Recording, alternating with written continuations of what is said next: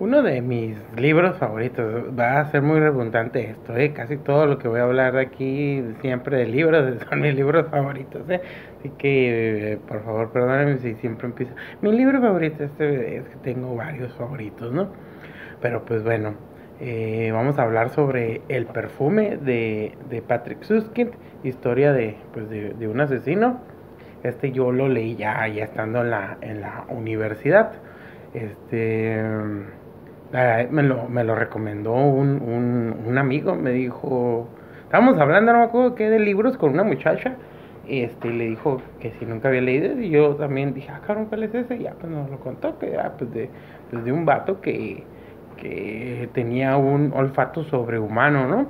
Y que pues que él podía eh, hacer perfumes bajo su, pues con su nariz, ¿no? De tremenda, pues, eh, belleza de olor y que pues que se meten, dijo que no, pues no le iba a contar todo, pero pues que sí, pues que era muy entretenido, ¿no? Entonces yo me quedé con eso en la mente y pues lo, lo busqué y cuando lo encontré y lo empecé a leer, o sea, desde el principio me enganchó, o sea, el principio de la de, de cómo te describen a Jean Baptiste Granulli, pues Patrick Suskind, yo dije, ay cabrón, yo quiero saber más, ¿no? O sea, yo tengo pues bueno, tengo un, maestro, el maestro Servando este, Hortol, y nos, nos decía, ¿no? Pues de que a veces un, eh, para enganchar a, la gente, ¿no? Al público, al lector, sea lo que tú escribas, es el principio, ¿no? La, el primer párrafo, eh, la gente, si le interesa, se va a quedar a leerlo, si no, este, pues no le va a interesar mucho, apenas de que le digan que como que, ah, mira, de esta parte se pone así, pues, pero,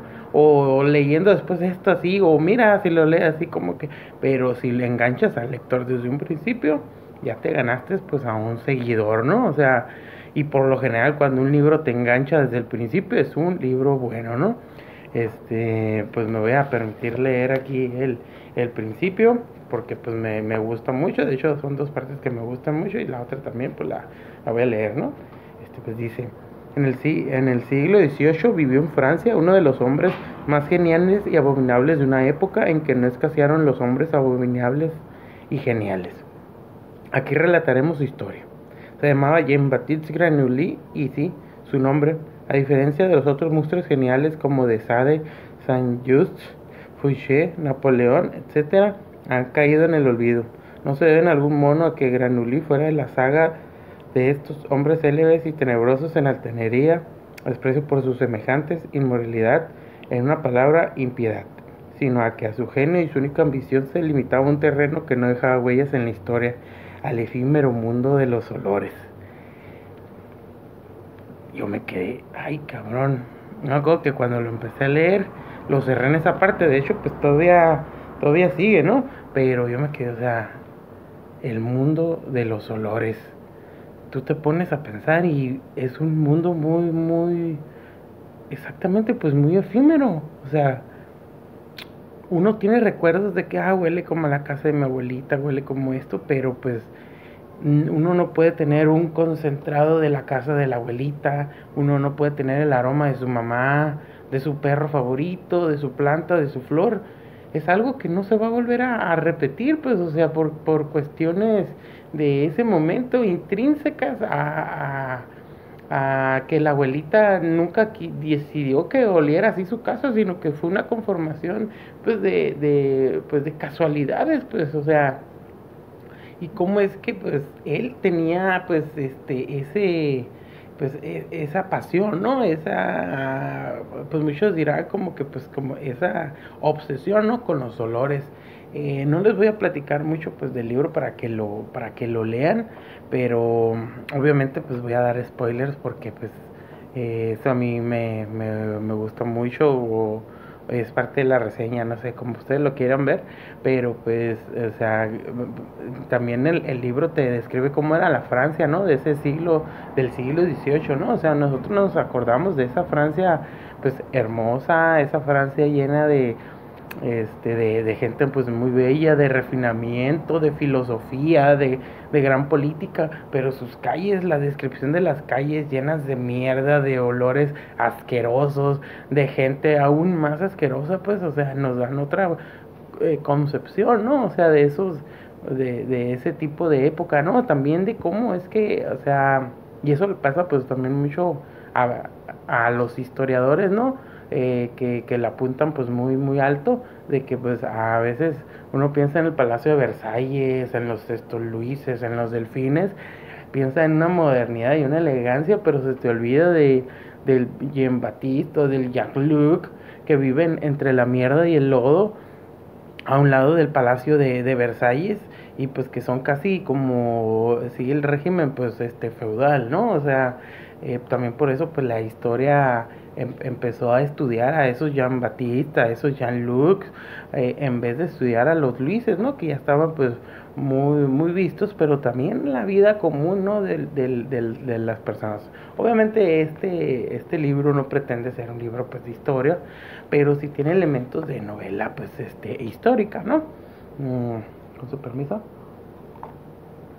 Este y pues es muy, muy, muy emocionante verlo y también es, es, es gratificante cómo es que pensaba la, la, sociedad de ese tiempo, ¿no? O sea, a pesar de que ellos eran libres y súbditos, se seguían vendiendo y comprando niños, pues, o sea, este, cómo es que la ley dice una cosa y la realidad otra. Ahora, este, vemos como Jean-Baptiste Granulí, pues, este, a modo que avanza la historia, él también está cambiando. Y pues hay una cosa que, por ejemplo, pues, uno en el libro, pues, eh, nos, bueno, yo al principio no sentí mucha empatía por él, pero luego cuando él se da cuenta que no huele y que es parte de eso, ¿no? Pues de que no, al tener, no tener olor, la gente lo desprecia, ¿no? porque te lo describen como es un hombre feo, pero no tan feo, no es, o sea, no es que sea un deforme, sino que pues está feo, pero no es un feo que tú lo veas y te dé miedo. Lo que le da miedo y desconfianza a la gente es que no huele. Él se da cuenta en eso cuando se aleja de la humanidad, se lava todo su cuerpo, se quita, se talla y se da cuenta que no huele y ahí se da cuenta pues que que pues que no no no no no, por eso no puede caer en la sociedad. De hecho, eh, como su olfato es tan refinado, pues inventa eh, pues muchos perfumes. En uno de esos agarra esencias de la, de la gente, se lo echa y la gente lo empieza a ver de diferente manera, lo, lo, lo empieza a coger, lo, lo, empieza a hablar, ¿no?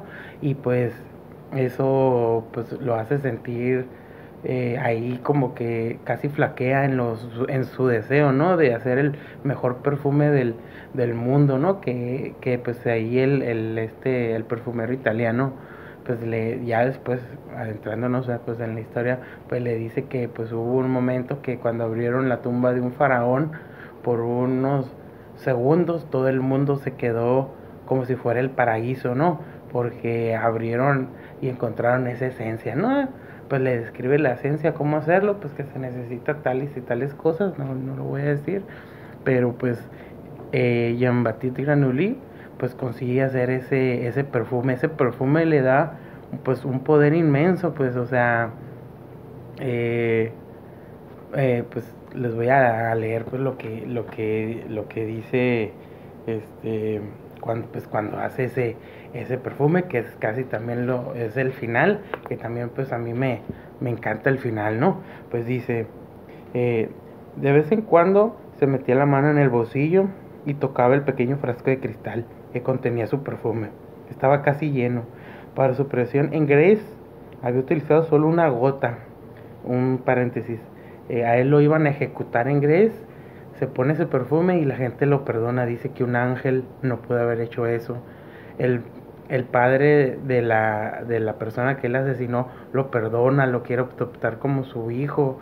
El perfume y la esencia que hace, pues es, o sea, básicamente lo convierte este, en lo más deseado de las personas y solamente es una gota y trae un frasquito, ¿no? Pues prosigo. El resto bastaría para hechizar al mundo entero. Si, se, si lo deseaba en París, podría dejarse adorar no solo por diez mil, sino por cien mil o pasear hasta Versalles para que el rey le besara los pies, o escribir una carta perfumada al Papa revelándole que era el nuevo Mesías, o hacerse un giro en Notre Dame ante reyes y emperadores como emperador supremo, o incluso como Dios en la tierra, si aún podía ungirse a alguien como Dios. Podía hacer todo esto cuando quisiera, poseía el poder requerido para ello, lo tenía en la mano. Un poder un poder mayor que el poder del dinero o el poder del terror o el poder de la muerte, el insuperable poder de, inspirar amor en los seres humanos. Solo una cosa no estaba al alcance de este poder, hacer que él pudiera olerse a sí mismo, y aunque gracias a su perfume era capaz de aparecer como un dios ante el mundo, si él mismo no se podía oler, por lo tanto, nunca sabía quién era, le importaba un bledo el mundo, él mismo y su perfume. Jean-Baptiste Granulli era tan malo, tan egoísta que a él lo que le importara pues era su deseo, ¿no? O sea, en la pues, en el libro pues mata mucha pues más o menos a mucha mucha gente, ¿no? Solamente pues por su deseo enfermo de, de las esencias, ¿no? De pues de que de, de todo esto. Al final pues eh, como lo dice el libro, él podía hacerse ungir como Dios este, inspiraba amor, o sea, imagínense tener el poder de inspirar amor, o sea, que todo el mundo te ame, no importa lo que hayas hecho, no importa cómo te veas, o sea, el, el terror, este, al final se de cuentas de una persona terrorizada podría atacarte, una persona con mucho dinero, se le va a acabar el dinero, pero eh, una persona con, pues, eh, con, la muerte pues al final de cuentas va a terminar pero el poder del pues del, del amor como lo tenía pues Jean-Baptiste Granulli pues nunca nunca se iba a acabar. Y eso te pone a pensar cómo es que él a pesar de poder haber hecho de todo eso no le importó lo mandó toda la chingada porque no se podía oler. Este pues me, me, a mí pues cuando leí todo eso pues me encantó. Me que lo leí en una sola en una sola noche no no me acuerdo, que no dormí. Y pues no sé es altamente pues recomendable que lean pues Patrick Suskind este el perfume historia de un asesino aunque yo se los haya platicado al principio y al final no importa los libros lo podemos leer tres cien veces y vamos a encontrar cosas nuevas siempre. Eh, les voy a dejar ahí el link de pues de, de, del PDF del, del, perfume. Y pues también les voy a dejar el link de la página de un amigo de, de, literatura y pues mi página de Facebook. Espero que esto les ayude a, a, a, querer leer pues la del, la del perfume. Y pues también vean la película. A mí me gustó la película pero obviamente no es ni la mitad de buena que es el que es el libro no pues, pues salud. Y salud por John Batista no Au.